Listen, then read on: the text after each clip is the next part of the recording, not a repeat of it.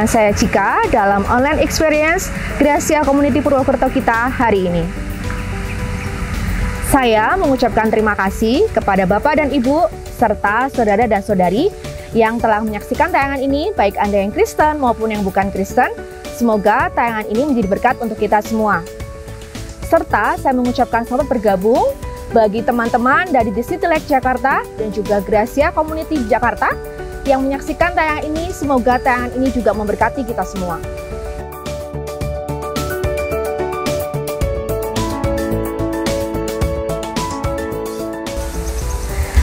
Teman-teman, hari-hari ini kita semua mendengar dan juga melihat bagaimana pertambahan kasus COVID-19 di Indonesia terus meningkat. Bahkan pemerintah Indonesia, khususnya pemerintah Kabupaten Banyumas, terus memperketat dan juga membatasi setiap aktivitas masyarakat Salah satunya yaitu dengan diberlakukannya kembali jam malam. Hal ini dilakukan untuk mengantisipasi lonjakan kasus COVID-19 seperti yang terjadi di beberapa wilayah di Jawa Tengah. Oleh karena itu, pemerintah terus menggalakkan program vaksinasi ini supaya semua masyarakat Indonesia bisa menerima program ini. Maka dari itu, bagi teman-teman yang belum divaksin, jika ada kesempatan, langsung mendaftarkan diri untuk divaksin. Dan bagi teman-teman yang sudah divaksin, tetap jaga protokol kesehatan ya, guna melindungi diri Anda dan keluarga Anda dari tertularnya virus COVID-19 ini.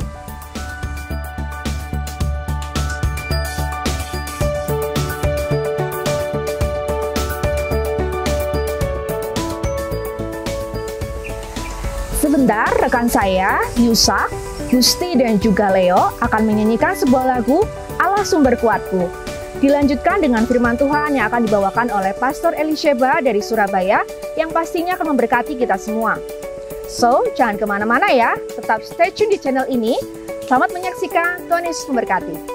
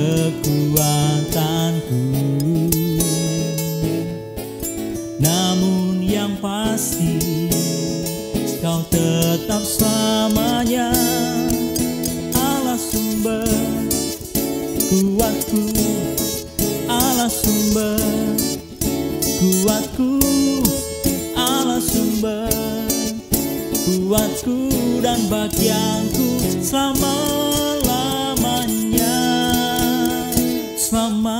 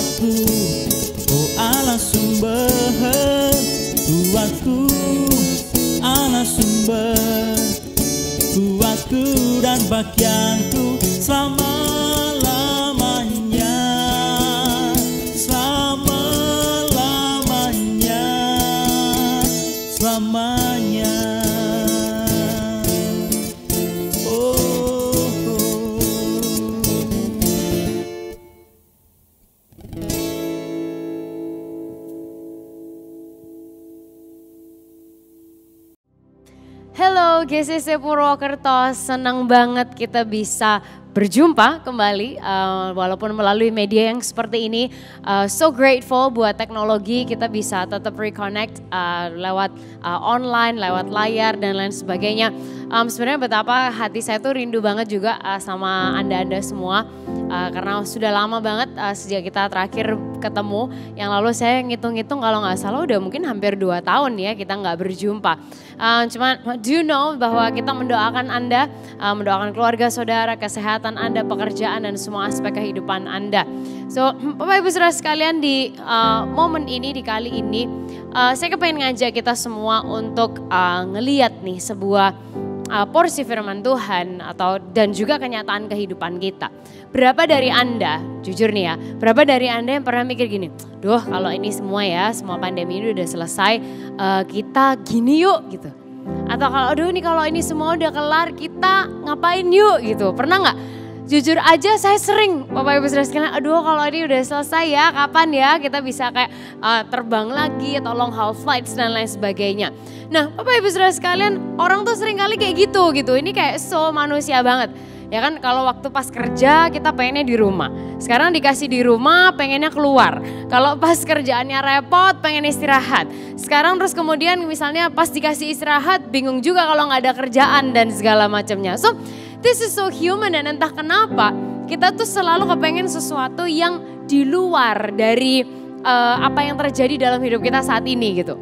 Kayak in a way it's good karena itu menjadi pemicu buat kita supaya kita nggak berpuas diri dengan apa yang kita punya ya kan memacu kita untuk yuk mikir gede yuk ada sebuah pencapaian atau visi yang lebih besar dan lain sebagainya which is great nah cuman di sisi lain akhirnya gini kita punya tendensi untuk berpikir aduh kalau situasinya beda aku akan lebih apa kalau kenyataannya beda aku akan lebih apa kalau aku kalau ini nggak lebih gini, nggak lebih gitu, nanti bisa apa? Ya kan kita selalu berandai-andai, kita nggak puas dan nggak menikmati apa yang ada sekarang. Nah di Alkitab ada juga sebuah kejadian yang dicatat dan direkam dalam sebuah tulisan nih. Waktu itu tentang orang Israel mereka tuh lagi berada dalam situasi yang nggak enak. Bapak Ibu Saudara sekalian. Mereka lagi ada di situasi pembuangan atau penjajahan. Mereka lagi dijajah sama bangsa namanya Babel waktu itu. Nah, kita akan lihat ceritanya tuh ditulis di Yeremia 29. Kalau misalnya Anda buka Alkitab Anda yang fisik atau diklik ya yang di handphone, uh, judul dari perikopnya itu adalah gini, surat kiriman kepada orang-orang buangan di Babel. Jadi surat ini dikirim sama Yeremia, dia dari Yerusalem nulis surat ke orang-orang Israel yang lagi ada di Babel, lagi ada di situasi yang mereka tidak inginkan. Oke, firmannya kayak gini, uh, tulisannya ayat 4 bilang, Beginilah firman Tuhan semesta alam Allah Israel kepada ini semua orang buangan yang diangkut ke dalam pembuangan dari Yerusalem ke Babel. Oke, Anda bisa lihat di layar tuh nulisnya semua orang buangan. So message ini diberikan kepada orang yang itu di situasi yang kayak gini, everything is against them segala sesuatu tuh kayak bertentangan dengan mereka. Mereka dipaksa keluar dari tempat tinggal mereka, mereka dibawa ke bangsa lain, tinggal di tempat lain, harus ikut tata cara bangsa lain, atau kadang-kadang kepercayaannya, imannya itu di challenge uh, seperti Sadrak, Mesak dan Abednego. Kemudian ada potensi namanya akan diganti, identitasnya diganti. Yang mana mungkin orang-orang itu juga lagi berpikir di wishing, aduh kalau kita keluar dari sini kita akan. Ya, seandainya kita nggak di sini, kita akan lebih apa gitu. Mirip mungkin sama kita yang sekarang gitu kan? Kayak kadang boleh keluar kadang nggak boleh. Ya kan? Kadang masih mau gini kadang nggak bisa. Kadang harus di dalam kadang harus apa lagi dan segala macam ya yang terus kita juga wondering kapan sih ini akan berakhir? When is this ever gonna end dan mungkin kita juga wishing, aduh kalau aku keluar dari situasi ini aku akan, ya kan? Atau aduh seandainya aku nggak lagi kayak gini, aku akan lebih gitu. Saya nggak tahu kondisi Anda yang lagi nonton ini sekarang Anda lagi seperti apa. Mungkin Anda lagi sakit kayak badan Anda sakit loh. Dan Anda merasa kayak aduh kalau aku nggak sakit aku akan lebih. You know, aduh kalau aku kondisinya nggak kayak gini I will be more. Atau misalnya Anda berpikir, duh kalau kerjaanku nggak lagi kayak gini aku akan lebih dan seterusnya. So ini pesan Tuhan. Untuk orang yang lagi ada di situasi yang tidak sesuai dengan keinginannya, tidak sesuai dengan harapannya. Ini pesannya, kita lihat sama-sama Bapak Ibu Saudara sekalian. Ayat yang kelima nih, bilang kayak gini. Katanya, dirikanlah rumah untuk kamu diami. Buatlah kebun untuk kamu nikmati hasilnya. Ayat 6, ambillah istri untuk memperanakan anak laki-laki dan perempuan. Ambilkanlah istri bagi anakmu laki-laki dan carikanlah suami bagi anakmu perempuan. Supaya mereka melahirkan anak-anak laki-laki dan perempuan agar di sana kamu bertambah banyak dan jangan berkurang. So Bapak Ibu sekalian ada beberapa instruksi yang Tuhan kasih. Dirikanlah rumah, buatlah kebun nikmati hasilnya. Ambillah istri, ya kan? terus kemudian juga anak-anakmu nikahkan Ya kan supaya kamu bertambah banyak dan jangan berkurang. Lah Tuhan, ini kan di tanah asing ya. Ini kan di tempat yang bukan rumah mereka. This is not home. Kok harus kayak gitu? Kan gini, mendirikan rumah itu kan ini kan berarti settling in dong gitu. Ya masa ini rencana Tuhan buat kita? Bahwa kita tuh kayak harus harus settle in di penjajahan dan di captivity gitu? Berarti How long is this gonna be? Berapa lama ini bakalan? Apakah Tuhan gak akan bebaskan kita? Atau Tuhan gak akan kerjakan mujizat? What is this? So, Bapak Ibu saudara di momen ini Tuhan itu pengen ngajarin mereka. Apa pun prosesnya, apa pun situasinya, hei kamu lo harus ngelihat tanganku menyertai kamu, oke? Okay? Dan Tuhan bilang, aku bukan hanya menyertai kamu, tapi aku nih nuntun kamu nih loh. Langkah demi langkah demi langkah, satu persatu, satu persatu. Mau lewat api, mau di dalam lembah, di situasi gak enak, apa pun itu.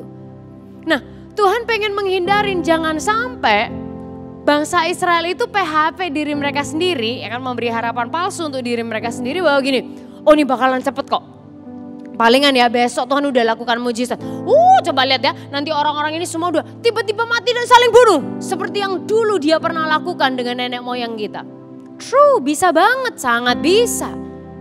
Tapi gini segala sesuatu masih ada dalam kendalinya Tuhan dan terserah Tuhan ini akan berapa lama atau kapan dia mau mengerjakan mujizat atau when it, kapan timingnya dia terserah. Tuhan bisa nggak? Oh sangat bisa. Tapi timingnya tetap ada di tangan dia yang tahu rencana dan gambaran besar buat kehidupan kita semua. Nah jangan sampai Israel tuh hanya berharap mujizat, mujizat, mujizat. Bukan berarti nggak boleh berharap mujizat, oh harus. Tapi jangan sampai hanya berdoa dan berharap terus nggak ngapa-ngapain, diam-diam aja. Nggak mau mulai bisnis, nggak mau maksimalkan kesempatan, cuman berharap terus makin kecewa dan kemudian karena kekecewaan itu, aduh kepikiran, kepikiran, kepikiran makin terpuruk lagi keadaannya. Padahal ini kan juga arahan Tuhan nih buat mereka. Nah sehingga hidup kita juga demikian. Jangan sampai kita hanya berharap kapan ya selesai, kapan ya selesai. Atau kayak when this is all over, I will. Terus kita cuma diem aja, kita nggak memaksimalkan kesempatan, kita cuma berharap-berharap kita makin kecewa karena kekecewaan itu makin terpuruk lagi keadaan kita. Udah parno, kecewa, pahit lagi, eh uh, mau jadi apa hidup ini? So Tuhan ngasih tahu, ini loh Israel waktu kamu lagi di, di pembuangan. Dan buat kita semua nih yang hari ini lagi mendengarkan Bapak Ibu Saudara sekalian yang lagi ada di situasi yang mungkin serba berubah dan tidak menentu ini Yuk kita nggak PHP diri kita sendiri. Tapi gini, yang pertama dirikanlah rumah untuk kamu diami. Karena gini, orang kalau mendirikan rumah itu udah investment gede kan pasti ya.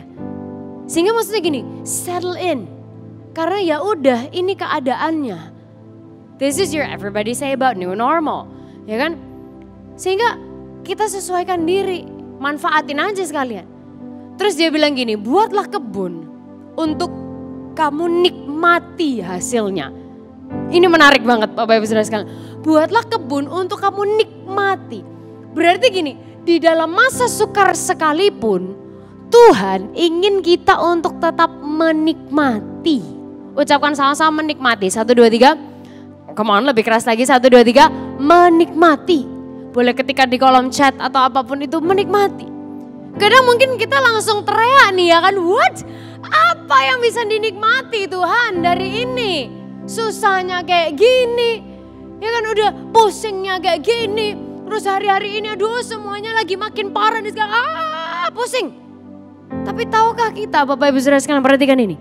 Selain Tuhan menjanjikan penyertaannya, Tuhan tuh menjanjikan tuntunannya dan juga ini Tuhan mau ngajarin kita melalui masa sukar kita.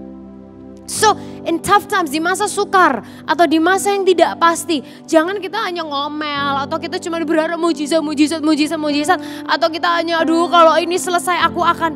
Nah, tapi gini, nikmati setiap musim kehidupan kita. Jengkel ya? Kayak kesel ya, kok nikmati sih? Nah orang sering kali gini karena wishing kalau ini udah selesai aku akan, setelah ini aku akan, setelah ini, setelah ini, setelah ini, setelah ini terus. Jadi akhirnya nggak bisa melihat apa yang baik dan manfaat dari saat ini. Antara terkungkung di masa lalu dulu-dulu atau cuman berangan-angan tentang masa setelah ini. So hati-hati, yuk kita maksimalkan musim hidup kita yang saat ini. Katakan sama-sama saat ini, satu, dua, tiga. Saat ini. Nah sehingga gini Bapak Ibu Saudara sekalian, make sure the steal from your season. Pastikan Anda mencuri dan memerasi musim kehidupan Anda. Saya punya contoh Bapak Ibu Saudara sekalian, kalau misal ya kan, si A mau nyuri sesuatu dari si B misalnya ya kan. Terus ceritanya si B mau barangnya kembali. Kalau si B mau barangnya kembali, B harus membayar sejumlah uang kepada si A. Si A kan mau meres kan ya berarti ya. Kan gini, kalau orang niat meres, Gak mungkin kan dia bilang gini, ya udahlah nggak apa-apa lah serelanya lah pak. 500 ribu ya nggak apa-apa. Nanti ya kalau bapak kasih 500 ribu ya ya saya kembalikan lah barangnya. Pokoknya serelanya berapa lah nggak apa-apa. Gak mungkin kan? Kalau orang emang niat mau meres dia gini pertama kali dia akan minta 50 juta. Kalau bisa 50 juta udah dikasih ya kan? Dia akan ngapain Oh gak bisa, yang 50 juta kemarin tuh masih untuk apa-apa-apa terus dia akan minta lagi, terus minta lagi, minta lagi, minta lagi. Kalau bisa ya sebanyak yang dia bisa, bener gak? Ya kan gua peresin loh, pasti peres-peres abis. Nah Bapak Ibu Saudara sekalian, hidup kita tuh juga kayak gitu. Pastikan kita, ngapain nih bukan ngerampokin teman saudara, bukan, gak gitu konsepnya. Tapi pastikan kita meresin setiap musim kehidupan kita. With every season, whether it's good season, kalau musimnya bagus ya ayo kita enjoy, kita dapatkan yang paling maksimal dari musim itu. Kalau itu adalah tough season atau masa sukar, dapatkan juga manfaat yang paling maksimal dari musim itu. Ayo kita keluar coming out, mungkin belajar skill yang baru, kita jadi pribadi yang lebih kuat, kita makin ngalamin Tuhan dan lain sebagainya. Nah saya tahu uh, sebuah quote ini dari sebuah film namanya Kung Fu Panda. Di film itu uh, quote ini diucapkan oleh Grandmaster Ogwe. Tapi sebenarnya quote ini dari Bill Keane. Bapak Ibu Saudara sekalian quote-nya bilang gini, Yesterday is history, tomorrow is mystery, and today is a gift. That's why they call it present. Hari yang lalu itu sejarah, hari besok itu masih misteri, hari ini adalah hadiah katanya. Karena itu disebut present. Karena dalam bahasa Inggris present itu berarti saat ini dan juga kata-kata yang sama itu digunakan untuk hadiah. So hari ini adalah hadiah. Entah Anda sehat, entah Anda sakit, hari ini hadiah. Dan Bapak Ibu Saudara sekalian firman Tuhan tuh bilang gini, Tuhan itu rahmatnya selalu baru setiap pagi. Katanya gitu. Berarti with each morning ada sesuatu yang baru yang Tuhan kerjakan. Kalau pagi lagi berarti ada sesuatu yang baru yang Tuhan kerjakan. Berarti Bapak Ibu Saudara sekalian, kalau Tuhan masih bangunkan Anda, artinya Tuhan belum selesai dengan kehidupan saudara. Itu yang Anda perlu pegang. Kalau Anda udah ngerasa, aduh aku udah I'm at the end, aku udah mau mati nih, atau aku udah nggak ada harapan nih, udah badan udah sakit nih, atau kerjaan udah nggak karuan nih, aduh kayak tunggakan udah terlalu banyak dan lain segala macamnya. Bapak Ibu Saudara sekalian, dia masih belum selesai dengan kehidupan kita. So make sure to steal from your seasons. Pastikan kita mencuri dan memerasi musim kehidupan kita dengan maksimal sampai habis. Terus dikasih tahu instruksinya, ambillah istri, anak-anakmu juga nikahkan. Supaya apa sih? Supaya kamu bertambah banyak dan jangan berkurang. Ini malah lebih lagi. Punya keturunan di tempat asing dan di musim yang kayak gitu itu apa coba? Nah Bapak Ibu Saudara ini seolah-olah ingin menjelaskan sama orang Israel. Ini perhatikan ini. Kamu jangan cuma mikir untuk dirimu sendiri. Kalau kamu mikir gini, aku bakalan mati di sini deh ini kayaknya. Oke, tapi gimana dengan anak-anakmu? Mereka kan terus melanjutkan kehidupan gitu. Tuhan bilang, punyailah anak, punyai keturunan supaya kamu bertambah banyak dan jangan berkurang. Karena kalau mereka bertambah banyak secara jumlah, maka mereka akan tetap kuat. Nah saat Israel tuh berada di suatu negara dan mereka tuh bertambah banyak, Bapak Ibu Saudara sekalian, mereka tuh mengintimidasi negara itu. Karena ini udah pernah terjadi sebelumnya di, di Mesir, ratusan tahun sebelumnya. Waktu mereka tinggal di tanah Mesir, mereka bertambah banyak sampai Raja Mesir itu terintimidasi. Keluaran 1 ayat 7 sampai 10 bilang gini, orang-orang Israel beranak cucu dan tak terbilang jumlahnya katanya. Mereka bertambah banyak dan dengan dahsyat berlipat ganda sehingga negeri itu dipenuhi mereka. Nah terus akhirnya Raja Mesir yang baru itu bilang kayak gini, Bangsa Israel itu sangat banyak dan lebih besar jumlahnya daripada kita. Marilah kita bertindak dengan bijaksana terhadap mereka dan seterusnya dan seterusnya. He was so scared.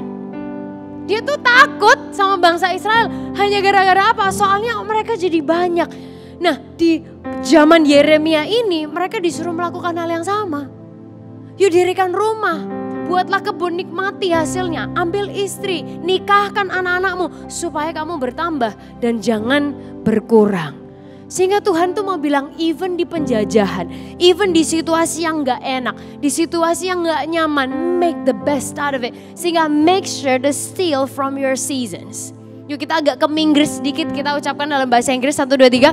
Make sure to steal from your seasons. Dalam bahasa Indonesia satu dua tiga. Pastikan Anda mencuri dan memerasi musim kehidupan Anda. Sekali lagi satu dua tiga. Pastikan Anda mencuri dan memerasi musim kehidupan Anda. So, ayat berikutnya bilang ayat 7, usahakanlah kesejahteraan kota, ke mana kamu aku buang, kata Tuhan. Dan berdoalah untuk kota itu kepada Tuhan, sebab kesejahteraannya adalah kesejahteraanmu. Dia bilang usahakan berdoa. Jangan kita hanya mikir kesejahteraan kita pribadi. Yang penting aku aman, aku tenang, aku menang, aku enak. Ya udah pokoknya aku safe, aku gini, aku gitu, aku, aku, aku, aku, aku, aku. Yang penting aku udah di rumah mau orang lain mau keluar rumah gak keluar rumah terserah. Atau kita lihat dari kacamata kita. Ya kan kalau kita ada di rumah berarti semua orang yang keluar tuh salah. Wah. Atau gini, kita keluar semua orang yang ada di dalam rumah penakut kayak why? No. Semua ini lebih besar dari dunia kita dan pemikiran kita secara pribadi masing-masing. Tuhan itu bilang, usahakanlah kesejahteraan kota Ke mana kamu aku buang dan berdoalah. Berdoa bukan untuk dirimu tapi untuk kota itu kata Tuhan. Untuk apa sih artinya kalau dalam hidup kita? Untuk skala yang lebih besar. Karena pada akhirnya kalau kota itu baik, kita, kehidupan kita, keluarga kita, kita juga merasakan dampaknya. Tuhan tuh kayak bilang sama, mau bilang sama kita gini, I know this is not something that you want. Mungkin ini bukan bukan apa yang kamu mau, bukan apa yang kamu harapin dan ini juga mungkin this is not a place you wanna be. Tapi Tuhan mau bilang, tapi aku tuh taruh kamu di sana to make a difference. Kamu ada di sana untuk sebuah tujuan yang lebih besar dari keinginan pribadi aja. So kita perlu lihat Bapak Ibu Saudara bahwa Tuhan itu menyertai kita, menuntun kita. Bahkan di tengah masa sukar dia itu kasih kita step by step what to do. Sehingga pastikan Anda mencuri dan meresin musim kehidupan Anda. So apa sih yang bisa kita lakukan? Ada tiga area yang kita akan lihat sama-sama hari ini. apa yang bisa kita lakukan di tiga area kehidupan kita ini untuk meresin kehidupan kita? Ada tiga area utama, Tuhan, sesama, dan marketplace. Yang pertama kita akan lihat di marketplace. Sekali lagi, attitude kebanyakan orang adalah gini, duh pokoknya aku kerja keras banyak duit supaya aku bisa pergi liburan dan kabur pokoknya dari pekerjaan ini gitu kan. Atau aku mau cari kerjaan karena ya aku butuh harus punya kerjaan sih ya. Masa orang kan nggak kerja ya. Aku akan kerja sekeras mungkin supaya suatu hari aku bisa quit dari pekerjaan itu. Atau kita mikir karena ada problem, ada tantangan, ada masalah. Sumber kesukaran kita tuh dari problem itu gitu. Tapi Yeremia 29 ayat 5 sampai 7 tadi ngingetin kita bahwa that's not the attitude. Mungkin season setback atau slowing down ini justru membuat memberi kita waktu untuk berpikir lagi, untuk kreatif lagi, belajar lagi. Ya kan atau melakukan hal-hal yang mungkin selama ini kita belum sempat lakukan, belum kita coba. So yuk pastikan kita meresin musim ini. Anda bisa lihat bahwa di musim ini makin banyak kebutuhan. Makin banyak orang yang punya banyak kebutuhan. Mana tahu kita bisa lihat opportunity, kita bisa lihat kesempatan, kita bisa lihat hal-hal yang menjadi kebutuhan dan kita bisa menjadi solusi. Anda bisa jual, hey jadi income buat kita. So yuk kita stretch diri kita. Learn something new, explore. Pastikan kita meresin musim kehidupan ini. Yang kedua dengan sesama. Bapak Ibu Saudara sekalian, hati-hati loh physical distancing tidak sama dengan social distancing. Oke, okay? physical distancing tidak sama dengan social distancing. Awalnya kan ini disebut social distancing, tapi bersyukur banget WHO kemudian merevise itu tahun lalu jadi physical distancing. Karena gini, fisik boleh jarang ketemu, tapi jangan sampai kita tidak mau bersosialisasi. Secara fisik mungkin kita nggak ketemu, cuman jangan sampai Anda lose connection dengan sesama, dengan keluarga rohani, dengan anggota uh, klub saudara, dengan anggota komsel, dengan dengan siapa pun itu, keluarga saudara. Karena gini, dibutuhkan waktu tiga minggu untuk seseorang itu mempelajari sebuah perilaku yang baru. Dan dibutuhkan total enam minggu untuk menjadi nyaman dengan hal itu. Jadi butuh 6 sampai 12 minggu untuk sesuatu menjadi kebiasaan. Bapak Ibu Saudara Anda bisa bayangin ini udah setahun lebih kita kayak gini keadaannya.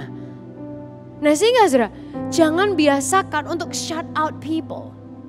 Bersyukur banget sekarang kita tuh udah punya teknologi yang seperti ini ya gak sih? Saya dari Surabaya ini bisa connect dengan Anda di Purwokerto. Isn't this so great? Nah sehingga maksimalkan dan dan pertahankan kebiasaan habit untuk kita tuh bisa socializing baik di online dan dan lain sebagainya. Anda kalau ada misalnya kayak sel group atau atau apa atau uh, kegiatan pemuritan, discipleship, anything. Do it online, jangan absen. Pastikan kita peresin season kehidupan kita. Kalau Anda ingat orang misalnya udah lama nih nggak ketemu ya kan. Dengan sengaja take the time untuk Anda mungkin teks lah, Anda telepon atau Anda video call atau anything.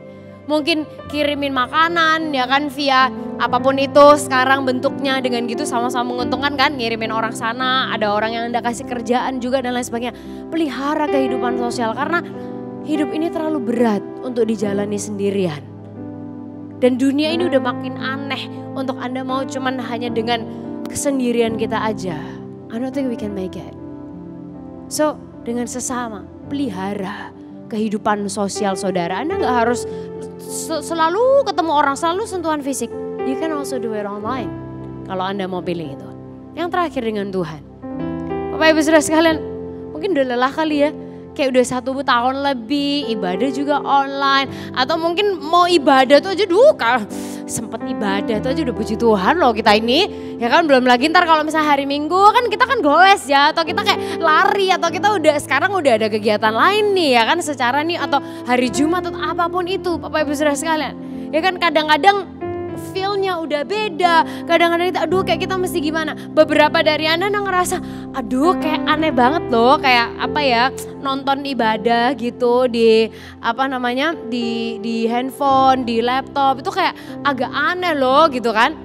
Bapak Ibu sekalian Anda bisa bayangin gak sih kami-kami ini yang di balik layar malah lebih awkwardnya tuh kayak gimana coba. Ya kan, ngomong kepada kamera nggak ada orangnya, atau terus rekan-rekan kita yang setiap minggu melayani, mereka harus syuting dan lain sebagainya. Bapak Ibu Saudara sekalian, kalau mau ngomong aneh canggung, lebih canggungnya nggak ngelihat siapa-siapa. But that's not the point. Itu bukan poin utamanya. Bapak Ibu Saudara sekalian, di season ini kita makin mengalami dan merasakan bahwa Tuhan itu sungguh maha hadir loh. Dia itu ada di mana pun kita berada. Dan kemahahadirannya itu tidak dibatasi oleh jam tertentu ya kan hanya hari minggu jam 7 pagi sama jam 5 sore atau apa pun itu nggak di nggak dibatasi untuk kayak oh ya kalau kita ada di di Jalan Kolonel Sugiri nomor sekian sekian baru kita bergereja itu ada Tuhan enggak sekarang di rumah kita masing-masing, di kamar saudara, di meja makan, Anda di mobil, Anda di perjalanan, di mana pun. Gereja makin luas dan sebenarnya hei gereja adalah kita. Karena Tuhan tuh sungguh maha hadir. So hari ini izinkan saya dengan segala kerendahan hati untuk nyemangatin saudara. Waktu Anda tuning in, waktu Anda ibadah, yuk kita nggak hanya sekedar diem aja nontonin, tapi yuk kita engage. Waktu menyapa yuk kita nyapa. Waktu worship yuk kita worship, kita enjoy, we, we sing together and all those stuff. Kita buka hati kita dan Bapak Ibu Saudara izinkan Tuhan bicara sama kita. Bersyukur banget gereja Anda bisa mengadakan ibadah yang online dan luar biasa ini. It's a privilege. Yuk kita maksimalkan, jangan setengah-setengah. Nah setelah semuanya itu, baru Tuhan kasih janjinya. Yeremia 29 ayat 10 sampai 14 katanya gini, sebab beginilah firman Tuhan. Apabila telah genap 70 tahun bagi Babel, barulah aku memperhatikan kamu. Aku akan menepati janjiku itu kepadamu dan mengembalikan kamu ke tempat ini. Sebab ayat yang terkenal kita sering tahu. Aku ini mengetahui rencana-rancangan apa yang ada padaku mengenai kamu demikianlah firman Tuhan. Yaitu rancangan damai sejahtera dan bukan rancangan kecelakaan untuk memberikan kepadamu hari depan yang penuh pengharapan. Dan apabila kamu berseru dan datang untuk berdoa kepadaku maka aku akan mendengarkan kamu. Apabila kamu mencari aku kamu akan menemukan aku. Apabila kamu menanyakan aku dengan segenap hati aku akan memberi kamu menemukan aku. Demikianlah firman Tuhan dan aku akan memulihkan keadaanmu. So Bapak Ibu Israel Israel nggak tahu waktu itu 70 tahun atau enggak. Kita hari ini juga kita nggak tahu ini bakalan berapa lama, when is this gonna end dan seterusnya. But that's not the main point. Itu bukan tujuan utamanya.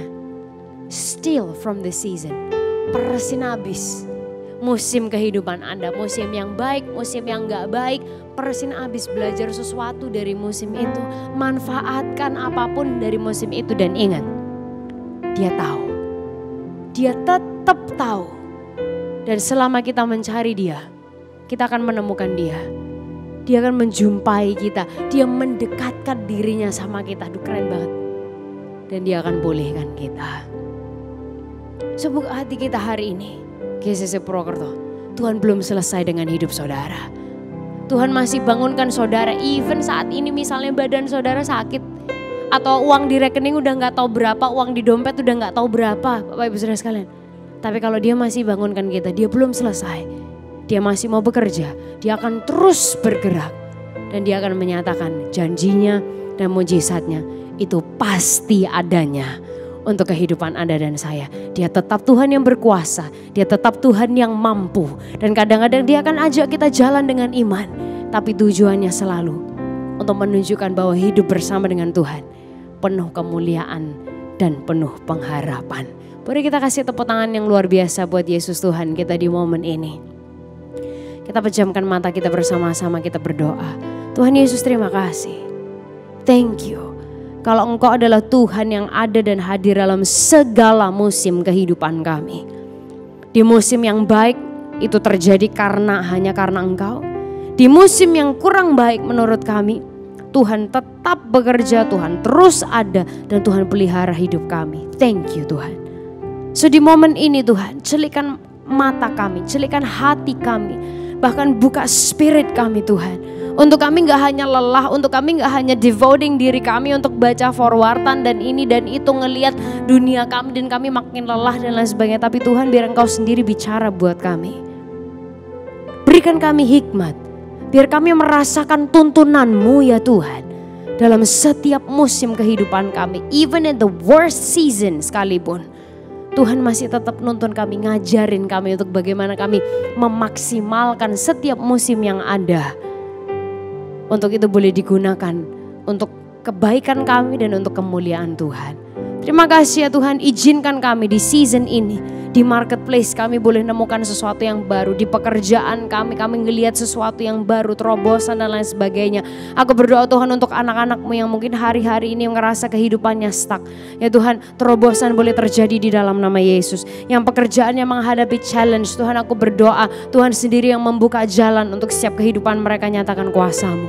Tuhan untuk kehidupan kami dengan sesama ingatkan kami Tuhan untuk kami nggak hanya sekedar uh, socially distancing, tapi Tuhan kami bisa socially open.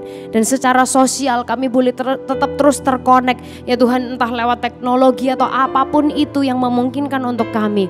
Supaya kami terus tetap ingat bahwa hidup ini bukan hanya sekedar tentang diri kami sendiri, tapi Tuhan mempercayakan orang di sekitar kami untuk berjalan bersama-sama. Bahkan kami Tuhan izinkan untuk jadi berkat buat mereka. Untuk relationship kami dengan Engkau Tuhan. Tuhan aku berdoa biar musim-musim ini menjadi perjalanan yang spesial antara kami dengan Tuhan. Kami menemukan Engkau, kami mengalami Engkau lebih lagi dan lebih lagi dalam setiap keseharian kehidupan kami Tuhan. Untuk kemuliaan nama Tuhan saja. Terima kasih ya Bapak dan kalau sebentar lagi kami akan melanjutkan aktivitas kami. Um, boleh kita angkat kedua tangan kita bersama-sama kita terima berkat Tuhan. Tuhan kamu memberkati kami semua berlimpah-limpah. Kerjakan perkaramu yang besar, yang dahsyat, yang luar biasa sehingga jelas itu berasal dari Tuhan saja. Tambahkan pengaruh kesempatan buka pintu-pintu untuk setiap kehidupan kami Tuhan. Guna satu tujuan hanya untuk kemuliaan namamu ya Bapak. Di mana pun kami berada, saat hidup kami senang, saat hidup kami susah, ingatkan kami Tuhan. Tidak pernah meninggalkan kami sedetik pun. Tapi engkau selalu memegang kami dengan tangan kananmu yang penuh kuasa. Memastikan kami melihat harapan dan bahkan kemenangan yang asalnya hanya dari Tuhan saja. Engkau dipermuliakan ya Bapak. Hanya di dalam nama Tuhan Yesus kami sudah berdoa semuanya sama-sama katakan Amen. Amen. God bless you. GCC Purwokerto. Stay safe, stay healthy, stay happy. See you soon.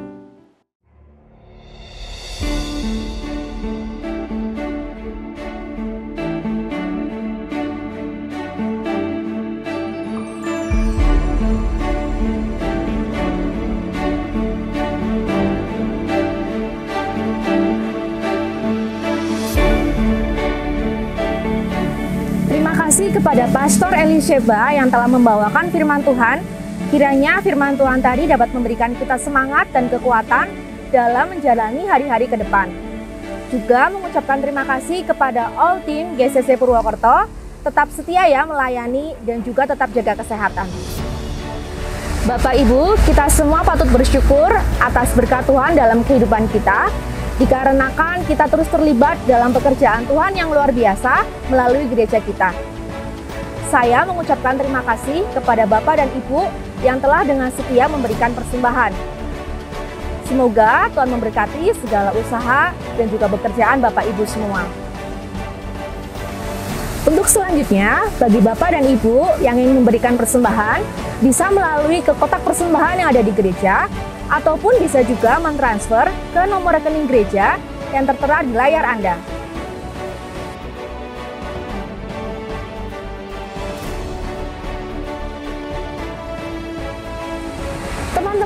Jangan panik dan juga jangan kendor. Mari tetap lakukan protokol kesehatan yang ada, yaitu dengan mencuci tangan dengan sabun, menggunakan masker saat di luar rumah, dan hindari kerumunan. Saya yang di Anda, keluarga, dan teman-teman Anda. Saya Cika, jumpa lagi dalam online experience Jumat depan. Tuhan Yesus memberkati.